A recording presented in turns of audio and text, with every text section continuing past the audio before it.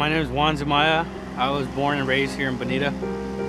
Hurricane Irma's done a lot of damage. Here there's a lot of flooding. Actually, this is the area where it's been the worst. All around Bonita, it, it's it's really bad. You know, there's trees everywhere, a bunch of debris everywhere. It did a lot, a lot of damage. It's never been this bad. We've been having to get a lot of boats out here.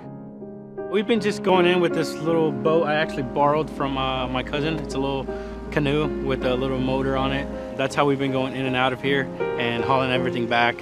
You know, whoever needs help, well, we help them out uh, as best we can. We left thinking we weren't gonna come back to a home. Luckily, the home's still intact.